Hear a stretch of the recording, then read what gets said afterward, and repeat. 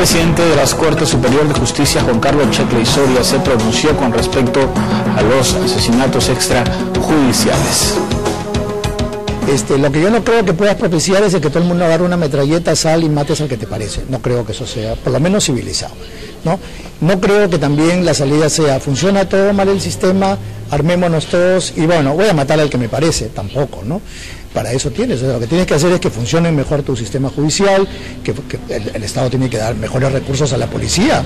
Esta fue la reacción del presidente de la Corte Superior de Justicia, Juan Checle Soria, tras la difusión de un video de presunto asesinato extrajudicial en manos de la policía durante un operativo. La autoridad cuestionó el accionar de los efectivos, pues consideró que bajo ninguna circunstancia está justificado. No, eso es un hecho. Eh, ¿Qué hay detrás del hecho? Creo que es el trabajo de la policía y de la propia policía investigar y de la fiscalía para ver si esto, como se aparente, es una, eh, ejecución, porque tal como está mostrado aparentemente son sujetos que ya están abatidos y a los que los están matando, esa sería una ejecución que es inaceptable visto por donde sea visto. Yo no sé si es delincuente y así lo fuera, creo que nadie tiene derecho a matar a nadie, absolutamente nadie.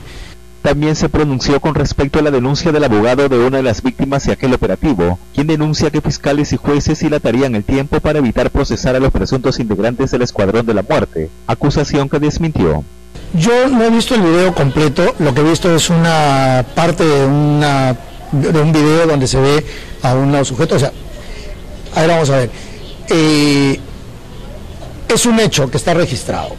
De los 20 o 30 que han llamado, más del 90% estaba de acuerdo y decía, hay que ejecutar a los delincuentes. Bueno, hay que respetar también esa opinión. Podrá gustarnos o no, pero es la opinión de la gente. Además, informó que a la fecha la Corte Superior de Justicia tiene en proceso un promedio de 40 casos judicializados por homicidio. Finalmente apoyó la marcha Quiero mi piura segura.